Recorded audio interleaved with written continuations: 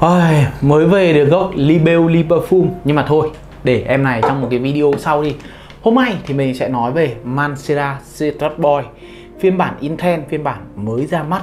Và thực ra thì đã có cái video nói qua qua về em này ở trên cái nền tảng TikTok rồi.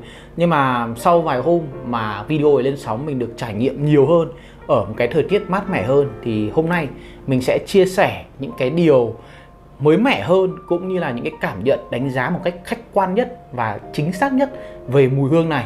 Và đây là những cái điều đặc biệt dành cho những người follow kênh youtube của mình, nó sẽ khác với tiktok. Và chúng ta cùng nhau xem xem mùi hương này như thế nào nhá. Về phần ngoại hình thì các bạn có thể nhìn thấy rằng là em nó không có sự thay đổi gì so với cái phiên bản gốc. Chỉ đơn giản là những cái thông tin cần thiết bổ sung vào đây thì người ta thêm vào để cho rõ. Và cái chai này thì hiện tại đã là chai nắp 5 châm rồi. Và 5 châm này thì cũng là nắp 5 châm tự xoay luôn. Thực ra thì những cái sản phẩm sau này của nhà Mansera thì họ cũng đều đã làm nắp 5 châm rồi. Có mỗi con Cetrat Boy được trước mình làm review thì nó vẫn là nắp vặn thôi nhưng mà mình thì mình vẫn thích cái nắp nam châm này hơn. Trông nó cũng kiểu xịn sò hiện đại hơn chứ kiểu vặn tay xong rồi bị lích ra nó bị rơi ra đây nó rất là khó chịu. Nhưng mà cái nắp vặn này trông nó cũng sang xịn mịn hơn. Còn về cái phần vòi xịt của em nó thì tôi xin phép không được xịt ở đây tại vì hiện tại trên người tôi đang khá là nhiều mùi rồi.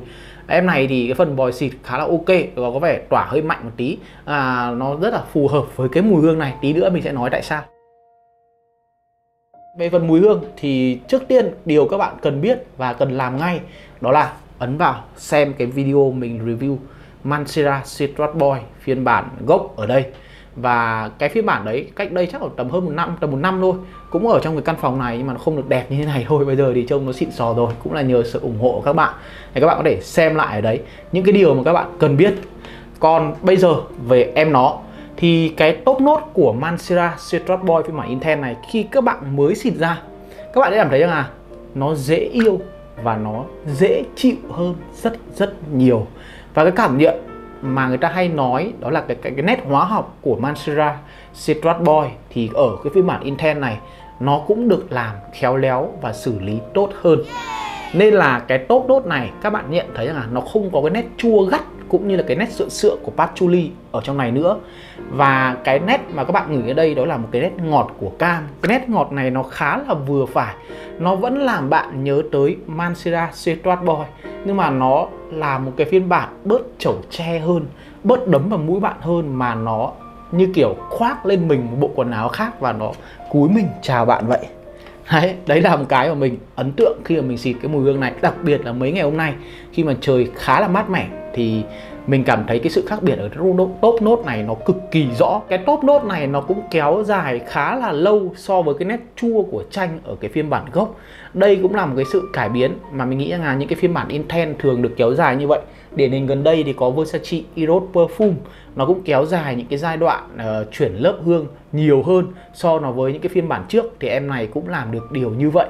Và mùi hương này khi mà các bạn ngửi ở khoảng tầm một tiếng sau khi xịt các bạn nhận thấy một cái mùi đó là mùi út mùi gỗ nó có phần hơi chua và thum thủ một tí hơi animalic người ta hay gọi là như vậy và cái nét này mình khá là bất ngờ khi mà mình ngửi ở cái phiên bản gốc, nó không có.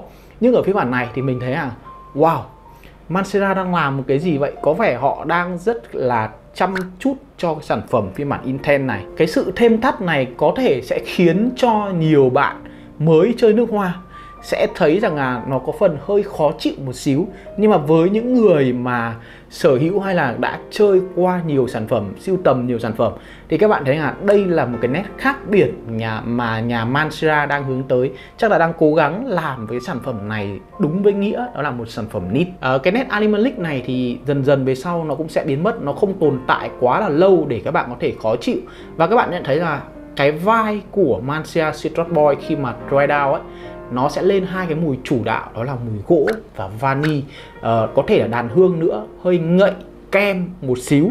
Và mình đánh giá rằng cái dry down của em Mancia Citrus Boy này nó là một cái hướng làm trưởng thành hơn sáng hơn cũng như là bớt gắt bớt cái kiểu khó chịu nồng nàn. Mặc dù ở cái video mình review em Citrus Boy này mình bảo rằng là mình thích ở cái top nốt cũng như là mãi về sau của em nó. Nhưng ở đây thì gần như rằng là những cái gì ác cảm với mancera Citrus Boy này mình đã bị uh, thay đổi khá là nhiều khi mà mình trải nghiệm lâu cái mùi hương này.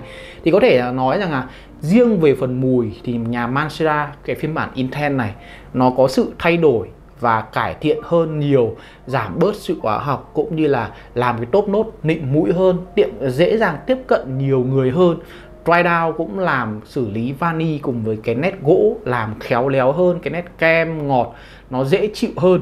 Và có lẽ đây là một cái sự lắng nghe của nhà Mansera này, đặc biệt là với một cái sản phẩm bán rất chạy, đó là Citrus Boy. Và thực sự thì với mình, đây là một cái điểm cộng của Mansera Citrus Boy. Các bạn nào mà có hai chai, các bạn ngửi đầu vòi, các bạn sẽ thấy là cái phiên bản này nó dễ chịu hơn cực cực cực kỳ nhiều cái điều mà chúng ta cần biết tới đó là về độ bám tỏa ra sao.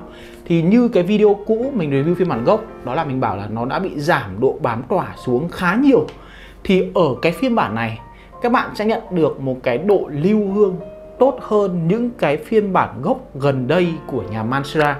Còn so nó với những cái năm tầm 2019 2020 thì cái phiên bản này nó không quá là nhiều sự khác biệt đó, còn về cái độ tỏa hương thì em này mình có cảm giác rằng nó tỏa kém hơn so với cái phiên bản Mansera, kể cả phiên bản gốc trước đây vài năm và gần đây.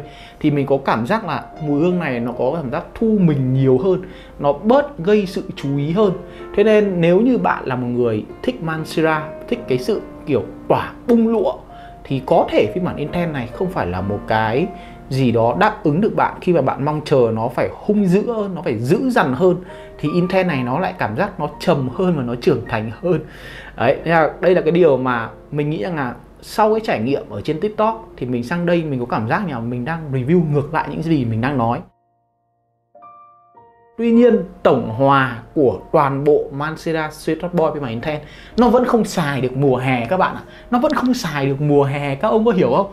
tôi đảm bảo các ông luôn là nó vẫn không xài được mùa hè tại vì mấy hôm mà tầm hơn 30 độ, tôi xịt tôi vẫn khó chịu nhưng mà tầm 30 độ quay đầu thì có thể dễ chịu hơn và dễ, kiểu, ập ừ cho qua được nhưng mà nó vẫn không xài được mùa hè nha, các ông phải hiểu điều đấy nếu như ai nói rằng là em này sang mùa hè thì chắc là chỉ có xịt một, xịt thôi, hoặc là xịt lên quần áo từ ngày hôm trước. Đấy, hãy nhớ điều đó. Chỉ là nó có thể dễ xài hơn ở trong cái thời tiết nhiệt độ nó cao hơn một xíu so nó với cái phiên bản gốc, còn nó vẫn không xài được mùa hè. Và em này thì mình nghĩ là cái thời tiết sắp tới, đó là mùa thu, thì Mancia Street Boy có thể xuất hiện nhiều hơn ở trên đường, nhiều hơn ở những cái buổi đi date. Các chị em nên cẩn thận và nhiều hơn ở trong những quán bar. Mình chắc chắn điều đấy. Nhưng để đánh đổi điều đấy, thì cái độ tuổi mình có cảm nhận rằng em này nó sẽ chững chạc hơn so nó với cái phiên bản kia. Nhưng mình nghĩ rằng là một hai tuổi nó không phải là vấn đề. Chỉ là em này nó có cảm giác hiền dịu hơn so với phiên bản kia và thu mình hơn. Nên là có thể vẫn có thể giải được nếu như thích Mancia Sweet Boy. Và thêm một cái yếu tố nữa các bạn cần biết đó là giá tiền để đánh đổi lại một sản phẩm được đánh giá có thể gọi là ngon hơn cải tiến hơn làm nịnh mũi hơn thì nó đắt hơn khá là nhiều. Ờ, theo như cái giá của bờ lăng đưa ra thì mình thấy là nó nhỉnh hơn khá nhiều chứ không phải là một hai trăm nghìn so nó với những cái phiên bản flanker của những cái dòng khác. Vậy thì có nên mua cái phiên bản này hay không?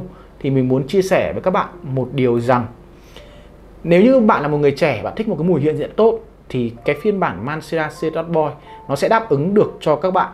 Mùi nó trẻ hơn nó gây sự chú ý tốt hơn và cái giá thành nó dễ chịu hơn. Tại vì mình đa phần mình thấy uh, những bạn follow kênh của mình những người trẻ thì các bạn đều muốn tìm cho mình một cái gì đấy nó ngon bổ và rẻ. Thì Mansera Citrus Boy phiên bản gốc nó vẫn làm tốt còn nếu như bạn là một người không quá quan tâm đến vấn đề tài chính và bạn muốn một cái vai của Citrus Boy, thì đây sẽ là sự lựa chọn cho bạn. Mình cảm thấy đây là một cái phiên bản nâng cấp về phần mùi hương hơn, làm dễ chịu hơn như mình đã review rồi. Nhưng một cái giá thì khá là cao. Không biết sau này giá nó có giảm không? Nhưng mà nếu như cái câu chuyện, cái bài toán là giá nó chỉ xanh khoảng tầm 2 đến 300 nghìn thì chắc chắn mình sẽ vote cho các bạn chai nước hoa này. Đấy là điều chắc chắn với các bạn luôn và dành cho mùa thu đông xuân. Còn nếu như mà nó vẫn bị nhỉnh giá quá cao như vậy thì mình xin phép khuyến khích các bạn mua phiên bản kia nếu như các bạn là một người vẫn còn lăn tăn về vấn đề tài chính. Và vừa rồi đó là cảm nhận của mình về Mansura Strat Boy phiên bản Intent. Và nếu như các bạn thấy video này hay thì đừng quên việc like, share cũng như ấn nút chuông theo dõi để nhận được nhiều video mới hơn. Còn bây giờ thì xin phép xin chào và hẹn lại. Bye bye.